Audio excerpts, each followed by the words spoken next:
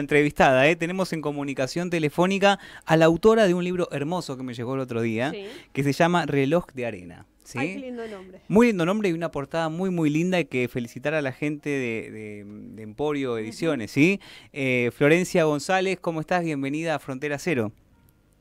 Hola, ¿cómo están? Buenas noches para todos. Gracias por este espacio. Un placer, te saludamos aquí de parte de todo el equipo. Sí, un gusto, Flor. Em, y Flor, bueno, eh, hay bastantes cosas para hablar sobre tu libro, sí, que me llegó hace unos días. Eh, quiero agradecer a André Vázquez que me lo envió.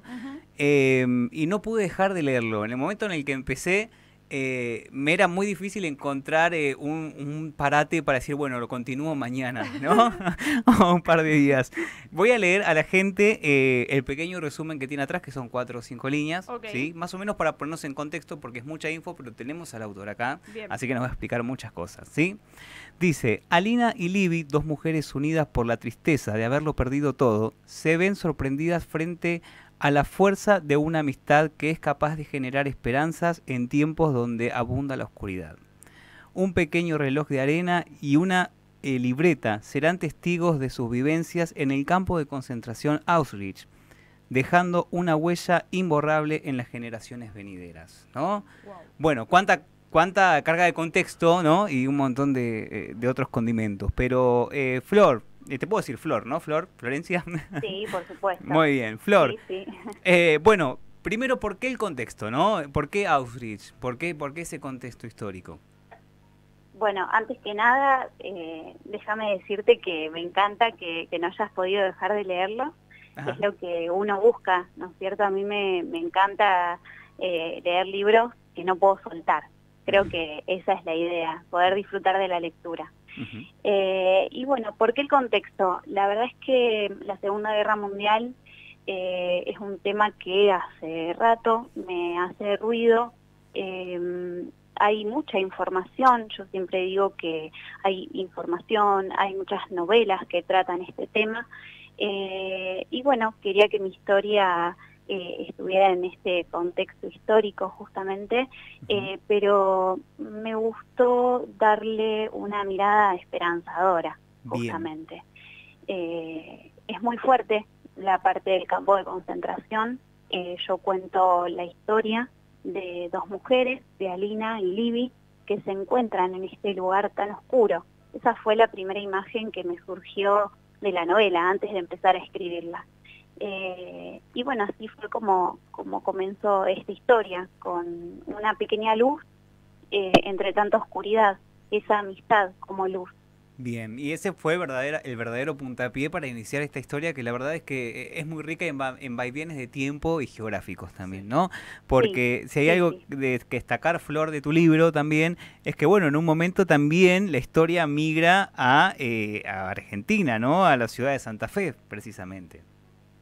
Sí, así es. Bueno, yo soy santafesina, vivo en Santa Fe Capital y, sí, como decía recién, eh, si bien el contexto histórico del comienzo de la novela es en 1945 en el campo de concentración de Auschwitz-Birkenau, eh, yo quería darle una mirada esperanzadora, eh, no quedarnos en este lugar tan oscuro. y bueno, y así fue como como empecé de a poquito a, investigar sobre mi ciudad, porque realmente no, no conocía demasiado, y hablando con mi abuela, eh, que obviamente ha vivido en tiempos pasados, ¿no? que yo no, no he conocido, ella empezó a contarme de, algunos lugares de acá de mi ciudad que no conocía. Eh, teníamos en la costanera un parque, el Parque Oroño, un parque precioso, eh, y en el centro del parque una fuente, la fuente de la cordialidad. Y hoy en día en ese lugar hay un puente al lado del puente colgante y en uno de los extremos de, este puente, del puente Oroño, eh, está la fuente de la cordialidad, que antes estaba en este parque.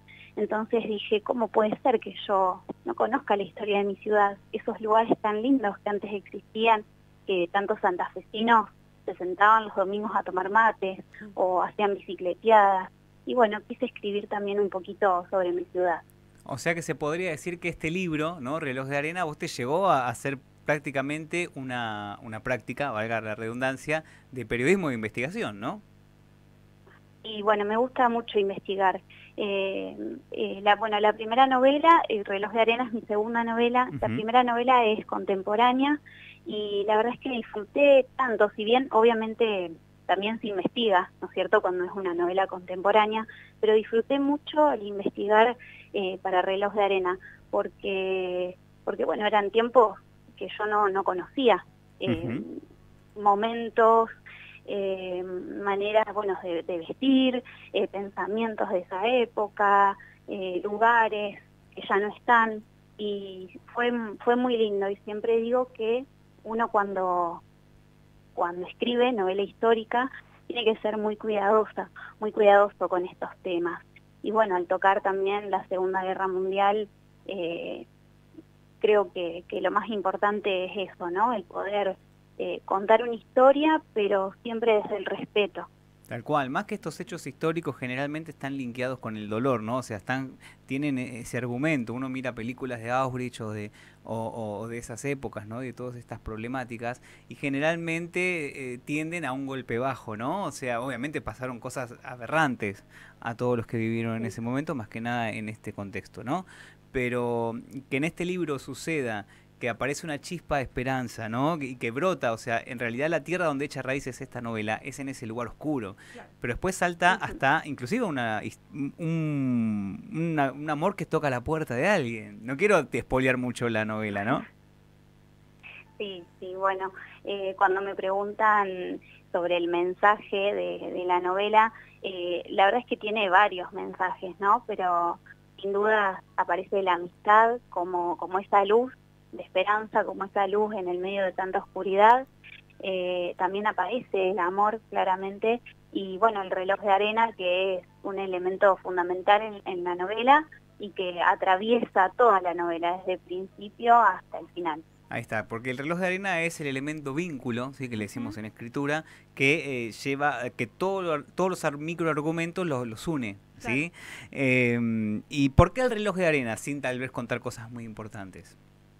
Eh, bueno, en realidad fue, fue lo primero que tuve en mente. Después de, esta imagen de las dos amigas en el campo de concentración, yo desde el principio supe que quería hablar del tiempo, que quería que ese elemento fuera el reloj de arena.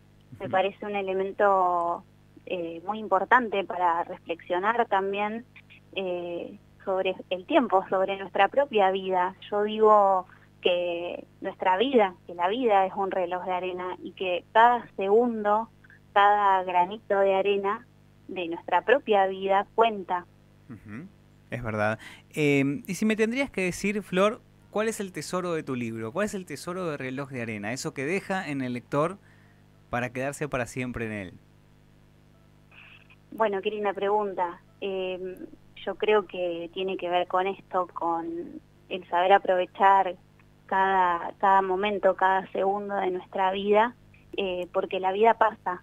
Y también qué importante es saber de dónde venimos para saber a dónde vamos, porque justamente Micaela, que es esta nieta que desea conocer la historia de su abuela, ella cree que, que su propia historia, que su historia no es solamente las acciones del día a día, lo que ella va haciendo eh, en su vida cotidiana, eh, sino que también está relacionada con la historia de su madre, que desconoce, y la historia de su abuela, que también desconoce. Entonces, qué importante es eh, saber de dónde venimos, poder conocer nuestra propia historia y, y bueno, en base a eso también eh, cambiar o repetir acciones y, bueno, y aprovechar, aprovechar cada granito de arena. Excelente. Y por eso cuando nos preguntan mucho en las entrevistas si es un libro para regalar o no, eh, este es un libro excelente para regalar también, porque bueno, toca todas estas aristas, ¿no? Que veníamos diciendo. Eh, bueno, está dedicado a tu hijo Agustín, el libro también, eso es un dato que quiero agregar de, valor. Eh, estás escribiendo un nuevo libro, ¿no? Sí, Bien. sí estamos escribiendo sí, un, nuevo, un nuevo libro. Yo digo que, bueno, quienes ya leyeron Reloj de Arena, muchos me, han dicho, pero pero ¿cómo puede ser? Me quedé con ganas de saber algo más, bueno, de, algunas personitas. Y yo les digo, la historia de Reloj de Arena terminó ahí. La historia tiene un final. Eh, sí se van a encontrar en la próxima novela con no es una continuación, sino eh, un desprendimiento. Hay algunos personajes que, bueno, van a continuar en la siguiente novela, pero estoy en una etapa de investigación, eh, sí ya han surgido obviamente algunos momentos de escritura, pero me gusta mucho eh, la parte de la investigación. Muy bien, acá están cayendo algunos mensajes. ¿eh? Georgina dice, me encantaría leerlo, me llama mucho la atención. Tenemos a Alfonsina que dice, ¿se consigue en Paraguay? Bueno, no sé, ¿eso ¿se consigue en Paraguay el libro? Eh, mira, no sé, sé que está, eh, si entran a la página del Emporio Libro, ahí desde ahí lo pueden descargar y si no, bueno, pueden buscarme en las redes y podemos contactar el envío a donde sea. Repetinos tus redes, por favor. Eh, bueno, en, Instagram me pueden encontrar como Florencia González o m.florencia.gonzález y en Facebook como Florencia González. Muy bien, Flor. Y acá hay una tocaya tuya también, Florencia. Dice, de este libro también queremos sorteo. Dicen, bueno, mira, ya nos están agarronando nuestro libro. Es que todo el mundo quiere leer. Bien, bien, bueno. Aparte ya con la Bueno, y ahora que, se acercan las fiestas, es, un, es un buen regalo también. Ahí va, ¿eh? Ahí está, te lo vendió para la fiesta. Yo que soy lectora, me, gustó, me gustó. Muy bien, se lo presto a Flor. Mira, Flor, se lo presto a la Flor de acá de Frontera Cero. Sí, que ya con todo lo que contaron, sí. Ahí va, te lo presto. Me lo devolvés, ¿eh? Te lo devuelvo. muy bien, muy bien. Bueno, Florencia González ha pasado por el aire de Frontera Cero. Eh, Flor, ha sido un placer eh, tenerte con nosotros aquí eh, en el programa. Bueno, muchas gracias a ustedes por, por el espacio, por la calidez y a seguir leyendo. Muy sí, totalmente. Un gusto, Flor. Un besote. Igualmente, muchas gracias. Muy bien, 23 minutos nos separan de las 8 de la noche. Ahora sí, Flor, vamos rapidísimo al, corte porque, tenemos un mensaje para Nadia acá también, ¿eh? Nadia, ¿estás ahí? Son tus fans. Atentamente. Muy bien, Cristina se llama, ¿eh? Es